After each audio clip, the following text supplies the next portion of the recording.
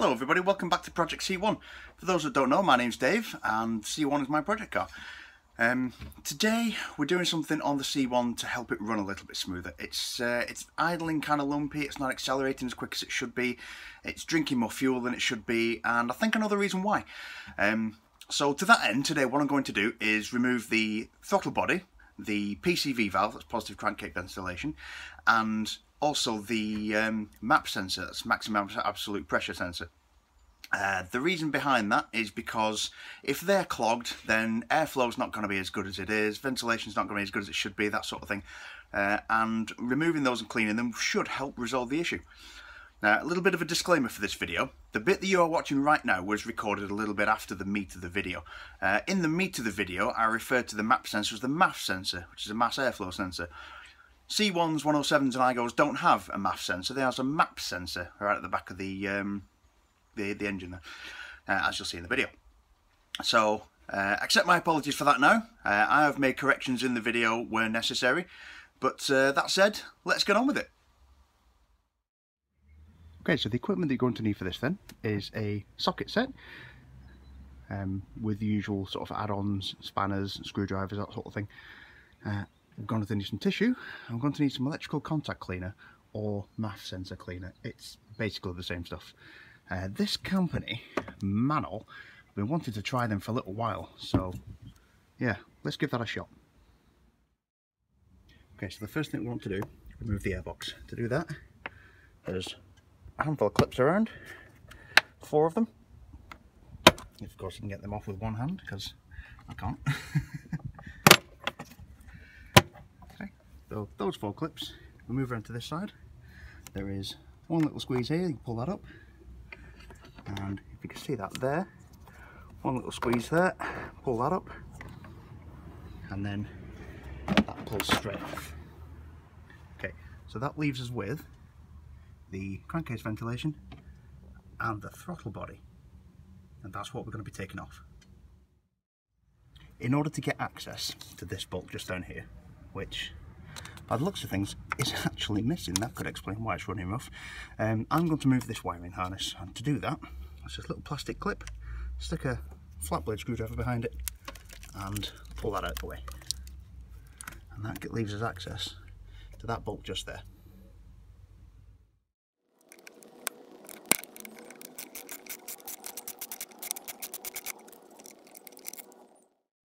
Okay, so just to demonstrate where the remaining two bolts are, we go up over the top of the throttle body. We'll look down the side, there's one that side and one that side. So we'll remove those and then that will be the throttle body free, ready to come out.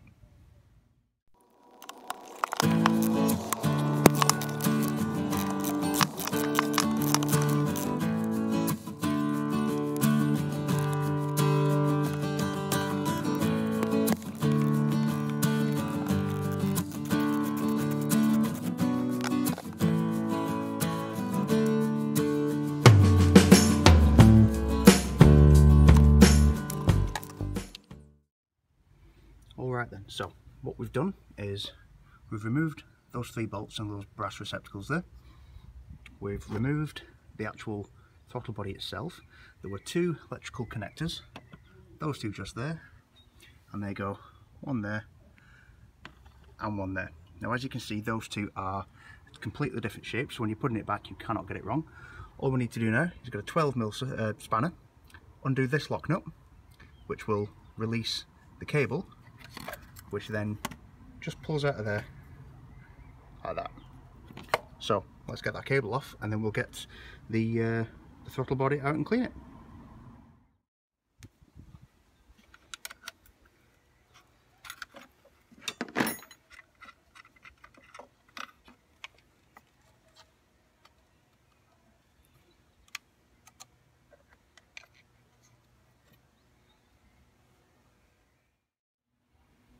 Alright then, so as we can see, uh, in general, this is showing every one of its 103,000 miles. Uh, having a look inside there, that's a bit oily, a bit nasty.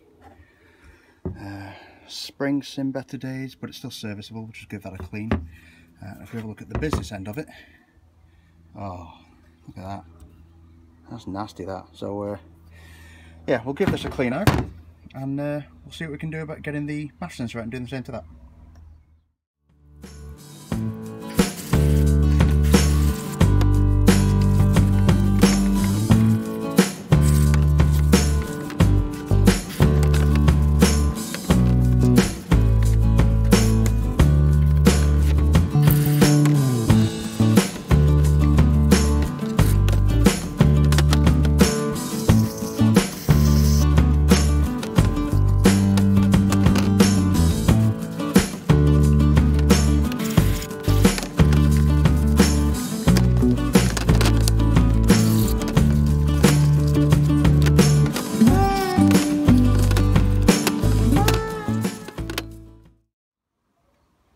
So that's clean now. Um, I've not bothered cleaning all the cosmetic stuff like that. You know, I'll just give it a quick once over. My most important mission today was to clean this lot. This nasty intake, which is looking far cleaner than it was. I mean, look at the colour of that. I'm very impressed with that. That is looking much cleaner than it was can't do that with one hand. Um, believe me, it looks clean in there.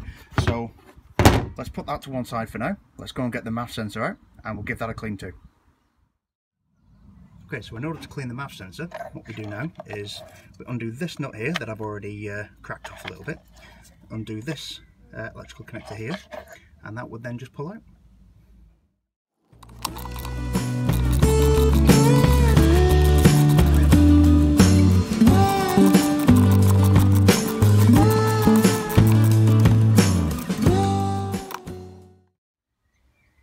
So that's the MAF sensor out. That was a little bit more of a faff than I thought it would, to be honest with you, but never mind. Uh, okay, let's have a look at it. That is nicely covered in oil. That is probably the cause of my rough running issue. Let's have a look at the connectors. Uh, they seem okay. So it's not that, I think it's that. So we'll give that a good clean. We'll clean around the surface in the area, we'll check for any loose articles or anything like that, and then we'll pop them all back in.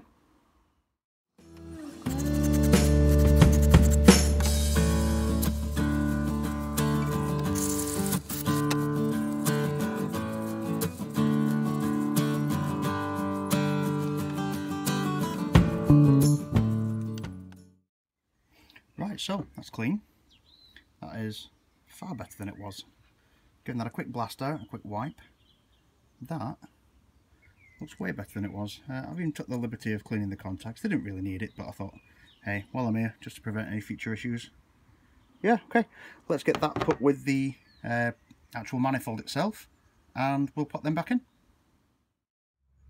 Right, so um, what we've done is we've cleaned around the general area, we've cleaned inside, we've cleaned around uh, and we've checked to see if there's any damage or any loose articles or anything like that in the way. Um, while we were there, I've just had this gasket out. Uh, pull that out again. Just had this gasket out and just inspected it for any damage or anything like that. Uh, usually you would replace this gasket, but I'm not going to for two reasons. Number one, that one looks just fine. Uh, it seems to be doing the job just well. There's no damage to it or anything like that. The rubber's still quite supple, all that sort of good stuff. And number two, I don't have one. So I'm just going to leave that one in place. So what we're going to do now then, I'm going to pop the uh, sensor back in there, pop the throttle body back on there, plug all the electric connectors in, plug that back onto its little harness thing just there, and then we'll put the throttle cable back on and we'll start it up, see what happens. And of course, once again, a wild Tilly appears. She has this thing about being on my car. I don't know why. She just does. But she's one of the sweetest cats I've ever met. So if you see her in the background again later on in the video, it's just Fail getting at the window, then don't worry about her. It's just showing you a chocolate starfish there. Thanks for that cat.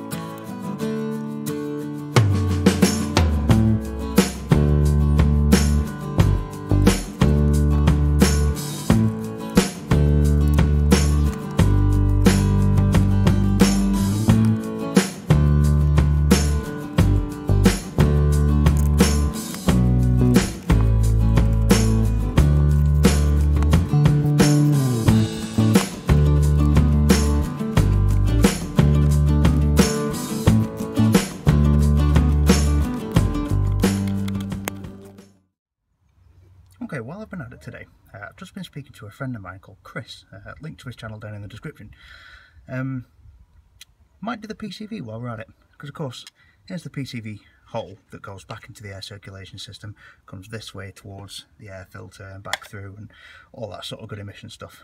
But just in here, there's a little valve that we're going to take out and clean. So we're going to squeeze these, push this whole thing back and it should just pop out.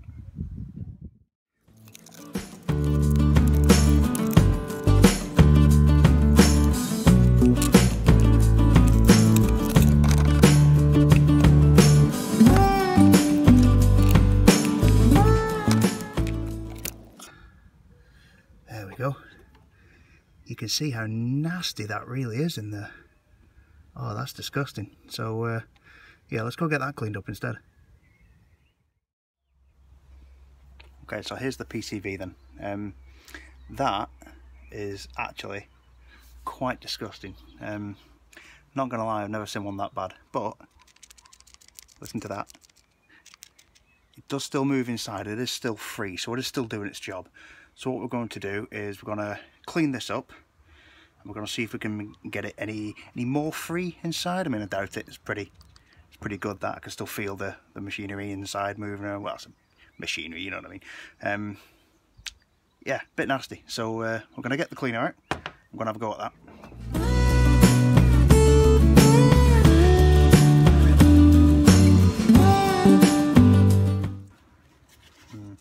I have a feeling that's going to take a little bit more than electrical contact cleaner. So to that end, deploy the brake and clutch cleaner.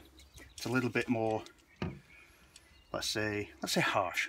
Uh, it's a stronger chemical solution. This one doesn't quite flash off as quick. So let's get that uh, all cleaned up the best we can.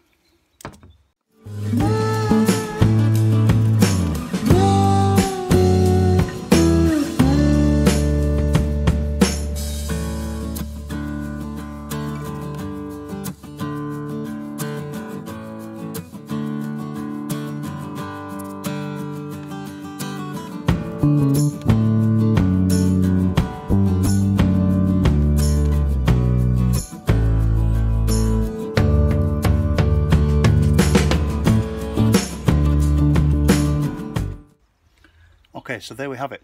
One clean PCV. Uh, yeah, seems alright. I mean, as you can see in there, there's like a little, oh, probably can't actually, but there's a little spring in there, uh, and there's a little like film in there, okay.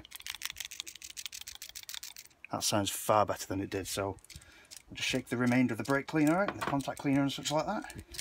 Watch it all flash off on the bin there, and then uh, we'll throw that back in the car. Right, so I'm just going to give this area a quick clean up and then uh, we'll pop it back in, pop the pipe back on.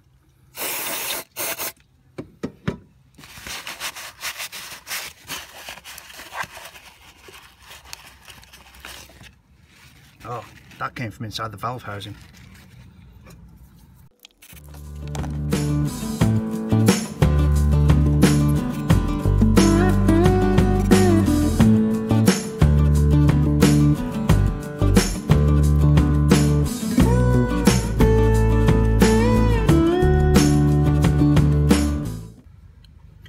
There we go, that's all put back together now.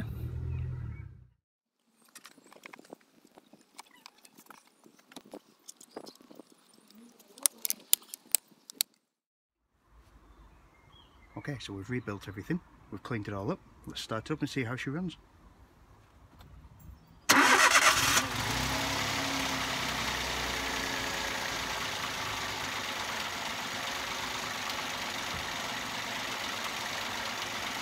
She's running far quieter now, happy with that.